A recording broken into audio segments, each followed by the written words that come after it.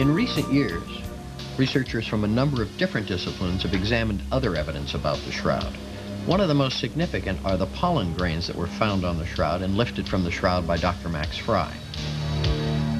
En 1973, un criminólogo suizo, el Dr. Max Frei, quitó partes de la superficie del sudario con cinta adhesiva.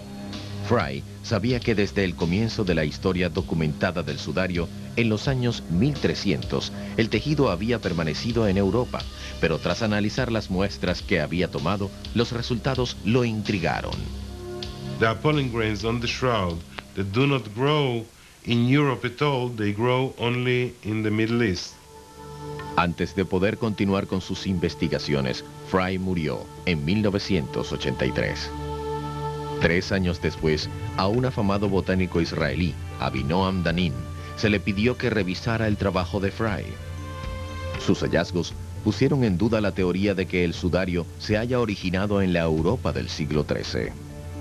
There are two very important indicator plants that uh, finding them on the shroud uh, tell us about uh, the geography and tell us where the shroud came from.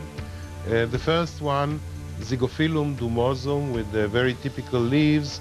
This plant is growing only in Israel.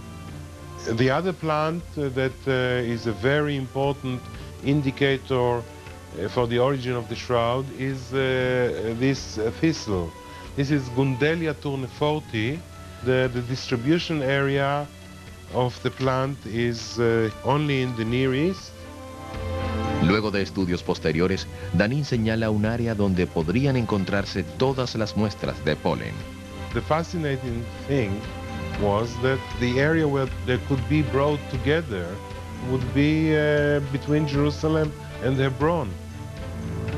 What makes this so significant is that it indicates to us that the Shroud of Turin, at some point earlier than 1300s, had to have been in Palestine, which also indicates that the carbon dating has to be at least inaccurate.